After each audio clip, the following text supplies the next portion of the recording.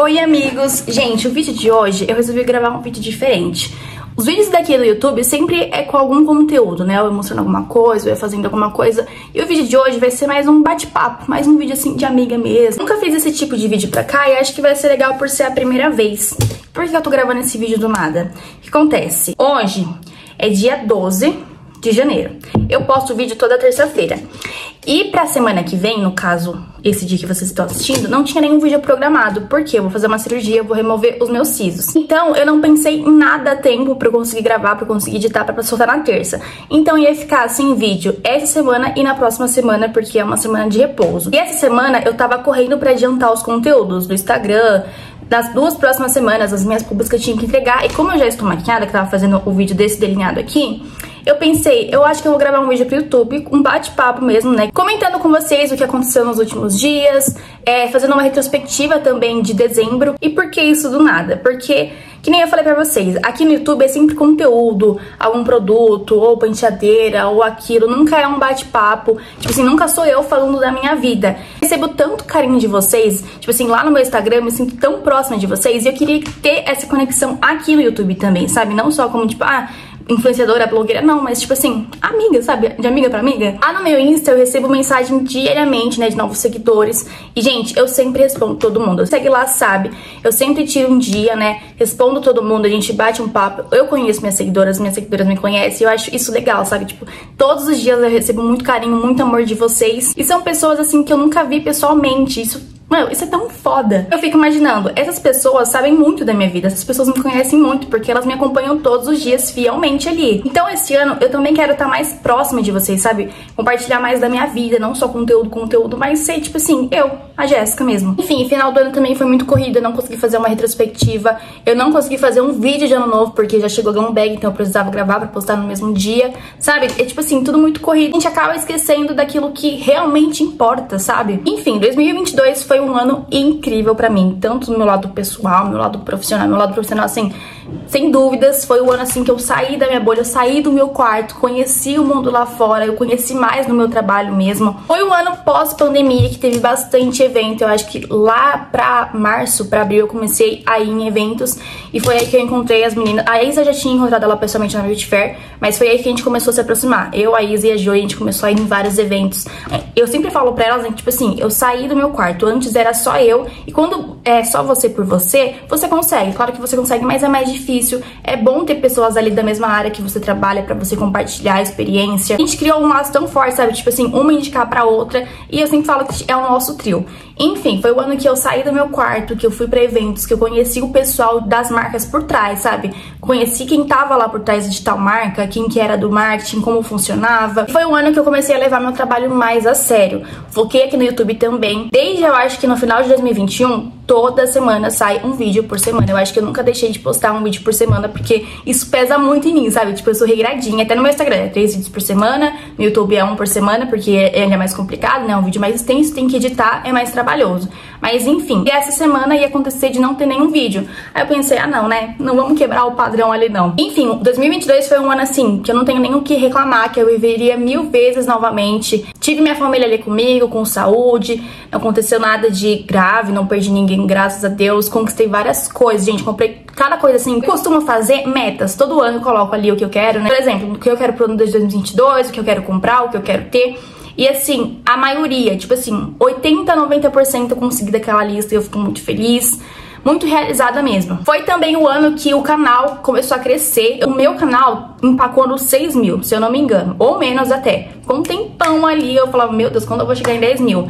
Até que um vídeo lá no Shorts viralizou, eu comecei a bater 10, 20, 30, 40, 50, e hoje a gente tá com 70 mil rumo ao 100k. Eu não vejo a hora de poder solicitar minha plaquinha, gente. Eu vou colocar na minha parede ali, ó, pra sempre vocês conseguirem ver nos vídeos e mostrar sempre. Enfim, eu quero agradecer também cada um de vocês que estiveram comigo desde o ano passado, desde, sei lá, 2020, 21, 22, 23, que continuam continuam aqui, que me acompanham lá no Instagram também diariamente, que sempre estão conversando comigo. É muito bom receber todo esse carinho, sabe? Saber que tem gente que realmente gosta de mim. Quando eu criei o meu canal lá no começo, eu postava o vídeo assim, regradinho, mas não tinha tanto retorno, sabe? E isso desmotiva, porque, por exemplo, você perde seu tempo, você cria seu conteúdo, você edita, você sobe pro seu canal, você tem uma frequência e aquilo não vinga, sabe? Aquilo não dá certo. Não é questão de números, mas é tipo assim, ver que tá dando certo, que você tá tendo retorno, que tem pessoas ali que estão te assistindo. Graças a Deus o canal também começou a crescer, começou a subir. E eu tô, tipo assim, muito satisfeita. Não satisfeita, que a gente nunca tem que estar tá satisfeito, né? A gente tem que estar tá querendo mais. Mas eu tô muito feliz com o que temos hoje em dia aqui no YouTube, no Instagram, no TikTok também. Mas enfim, fechando essa parte de 2022, né, de retrospectiva, agora vindo pra 2023. 2023, fiz a minha listinha também de metas, como todo ano eu faço. E uma das minhas metas era o quê? Tirar a minha carta de motorista. Tem um carro? Não tenho carro. Mas eu sei que Deus vai abençoar, que eu vou ter um carro ainda esse ano. E é mais fácil o quê? Você conseguir o carro já tendo a carta. Eu penso assim, entendeu? Já é um caminho andado. Eu já tenho carta, aquilo já vai me motivar a querer comprar um carro. Enfim, primeira semana de janeiro eu coloquei na minha cabeça, não, esse ano eu vou fazer diferente, não vou ficar empurrando a barriga. Vou procurar a autoescola. Procurei a escola na primeira semana de janeiro. Quando foi no final da semana, eu fui até a autoescola, acertei. E aí eu comecei a fazer os meus exames, né? Ela agendou lá os exames. O primeiro exame que eu fiz foi o psicotécnico. Comentei lá no meu Instagram também, comentei no YouTube com vocês nos shorts. Chegou o dia do meu exame, que foi inclusive essa semana, a gente tá na segunda semana de janeiro, né? É tudo muito recente.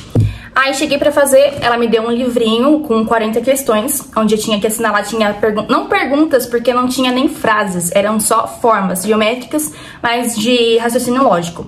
E aí você tinha que assinar lá. No começo, beleza, tava tudo muito facinho, parecendo assim, desenho de criança que tava óbvio ali na cara. Começou a chegar no 35 pro 40, meus amores, eu não aguentava mais de forma. Aquilo ali não batia, não fazia sentido. Eu contava os lados, eu multiplicava, eu somava, subtraía, fazia de tudo, não batia, comecei a chutar. aí eu já falei, meu Deus, gente, eu vou ser reprovada no psicotécnico. Quem que é reprovado no psicotécnico, velho? Tipo assim, é o começo do começo. Aí ela veio com, acho que é palográfico, que se diz que é o teste do pauzinho. Aí como tava eu e mais três na sala, uma menina tinha chegado antes de mim, então ela já tinha feito. Aí chegou eu e chegou um outro homem. Aí eu fiz com um homem, tipo assim, a, a moça que tava cronometrando deu tempo pra mim e pra ele. Aí ela falava já, a gente tinha que fazer os pauzinhos ali. Eu já tinha pesquisado na internet, tinha visto como que funcionava o negócio, né? Fui fazendo rapidinho, né? Porque na internet, um homem tinha falado assim que tinha que ter média de 100, 100 e pouco, né? A cada sinal que ela falava. E como era o começo, minha mão foi. Eu tirei aliança, tirei pulseira, tirei tudo pra mão ficar livre. Comecei. Tchuc, tchuc, tchuc, freneticamente, né? Aí ela falava sinal, tinha que fazer um tracinho na horizontal e voltava tudo de novo. Gente, eu sei que eu acho que durou uns 5 minutos. Só que assim, lá no final, a mão já tava cansada de ficar assim, ó, o mesmo movimento, né? Só que eu pensei, se eu diminuir a frequência e fazer menos, vai dar menos, né? Tipo, no começo vai dar 100 e embaixo vai dar o quê? 30. Aí eu vou ser reprovada mesmo. Aí eu comecei a fazer a força que eu não tinha, consegui terminar lá. Aí ela deu mais um teste de uma folhinha que eram formas e você tinha que achar naquela, li naquela linha e tinha várias outras formas, negócio de atenção mesmo, né? Enfim, finalizei tudo e ela me chamou na salinha dela, ela falou que eu estava apta, que era média superior, que da folhinha eu só deixei passar dois, mas que eu não errei nenhum, porque eu terminei antes do tempo. Do teste do pauzinho tudo ok também, e da, da do, do caderninho, de 40 eu acertei 34. Tá bom, né? Tá bom, tá bom, tá bom. Enfim, aí fui lá no meu exame, marquei o exame médico, né? Nisso, eu comecei a já sentir dor no domingo. Domingo? Que dia que foi? Deixa eu ver pra vocês. Vamos trabalhar com datas aqui, porque aí eu vou chegar onde eu vou fazer a cirurgia e tudo mais, vocês vão entender. Dia, no domingo foi dia 8. Comecei a sentir dor, né, no dente. Mas beleza, fui assim mesmo. Fiz meu exame médico, que era de vista ali, tudo tranquilo. E logo em seguida, eu levei na autoescola já pra marcar o meu CFC. Ah, não, foi no dia do... Tô confundindo tudo, gente.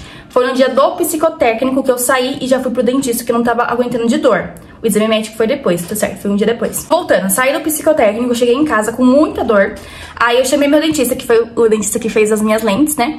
E aí eu falei que tava com dor no siso, aí ele falou assim pra fazer uma radiografia panorâmica. Isso aí.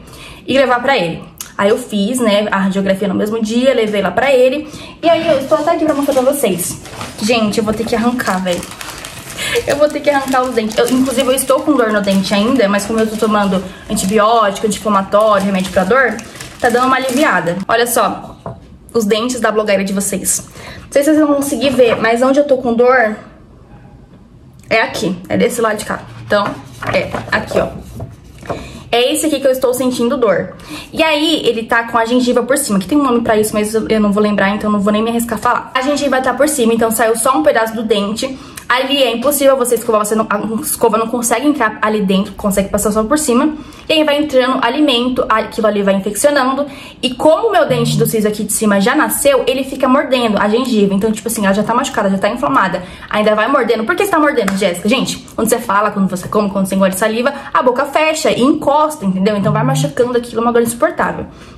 Cheguei no meu dentista, aí eu falei, eu preciso de cortar sua gengiva, só que ele falou assim, como era um tecido grande, é, ia ficar um buraco, era perigoso de entrar bactéria e tudo mais. E também se cortasse, depois de um tempo, ela ia nascer, né? Um jeito era arrancar e tem que arrancar o de cima também. Porque é um, sei lá, se você arranca um, tem que arrancar outro. Isso daí eu não vou saber explicar pra vocês. E desse lado de cá eu não tô sentindo dor. Só que ele falou também que era bom arrancar esse daqui que ainda não nasceu, porque ele está um pouquinho torto. Aqui, ó. Ele tá um pouquinho torto. Ele não vai nascer pra cima, ele vai nascer empurrando o outro dente. Então é capaz também que eu perca esse outro dente que não tem nada a ver com o rolê. Então o que acontece? Eu não tenho pra onde fugir, eu não tenho pra onde correr. Eu vou ter que arrancar esse, esse e esse. Eu vou ficar só com esse daqui de cima, que ele já saiu. Ah, não, ele não saiu ainda, mas tem espaço pra ele nascer. E o que me deixou também apavorada nisso uma das coisas, né? Já fiz bichectomia, tem um vídeo aqui no canal e o meu pós foi muito complicado, porque é a cirurgia aqui, ó, na bochecha, você não consegue falar, é a mesma coisa do, do cisto, você não pode pegar peso, tem que ficar de repouso, incha muito, tem, sente aquela pressão na cabeça que eu não sei nem explicar. E não dá pra comer. Então, tipo assim, só coisa líquida, só coisa gelada. E no, eu passei muito mal por conta disso, da alimentação. Até que minha mãe tomou as rédeas e começou a fazer a sopa pra mim de legumes. Aí foi aí que eu melhorei. E tomando remédio. Outra questão também que eu não consigo tomar remédio, gente. Eu tenho que mastigar, eu tenho que. A cápsula, pra vocês terem noção, da amoxicilina, é errado fazer isso. Mas eu estou abrindo no copo e tomando, porque eu não consigo engolir a cápsula. Desde pequena eu tenho isso. E aí, outro medo meu é o quê? Esse dente que tá doendo, ó, ele tá passando pertinho do nervo nervo. E aí, a gente me falou, né, que tem chance de dar uma parestesia. Mas que as chances são poucas, né? O que é parestesia? É quando machuca o nervo que passa por aqui e aí você perde a sensibilidade daqui do queixo e de um pedaço da língua. Ele falou que era horrível. Eu fui pesquisar sobre isso, eu fiquei mais paranoica ainda, porque o pessoal falando que na língua você sente como se tomasse um café quente e queimasse a língua, mas tipo assim, essa sensação é o tempo todo. Você não sente é, comida passando na língua, você come e você não sente comida. Imagina que horrível. Aqui, uma dor aqui, formigando os lábios também. Esse é o meu medo, sabe? Que isso fica por tempo indeterminado, que pode passar rápido, mas pode demorar para passar. Só que assim, eu estou orando que aconteça, que dê tudo certo. Quando eu soltar esse vídeo, eu já vou ter feito a cirurgia, porque tá marcado pra, ter pra terça-feira também, é na parte da manhã. Então eu espero que dê tudo certo. Mandem boas vibrações pra mim, que eu tenho uma recuperação boa e uma recuperação rápida. Eu não sei se semana que vem eu vou conseguir soltar vídeo pra vocês, porque como eu vou fazer a cirurgia na terça, a próxima terça eu vou tirar os pontos, que é uma semana né, de repouso.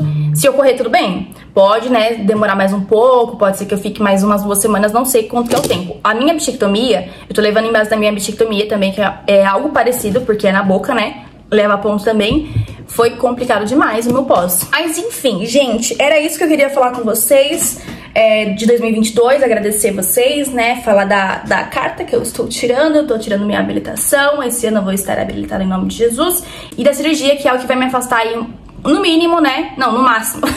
Pelo amor de Deus, né? No máximo umas duas semanas. Mas tudo certo. Logo, logo estaremos de volta, fazendo conteúdo pra cá, pro Instagram. No Instagram não paro, né? Stories 24 horas, mas aqui no YouTube, como é um vídeo mais extenso e mais demorado pra, pra ser editado, eu vou ter que dar uma pausa. Mas assim, é uma pausa de uma semana, vocês não vão nem sentir falta, tá, meus amores? Gente, é isso que eu queria contar pra vocês, que eu queria conversar com vocês. Uh, não se esqueça de me seguir lá nas redes sociais, de me acompanhar lá no Instagram, que eu sempre tô postando stories. Se inscreve aqui no canal também, deixa seu like, ativa o sininho, compartilha esse vídeo. E é isso, gente. Eu vou ficando por aqui. Um super beijo e até o próximo vídeo.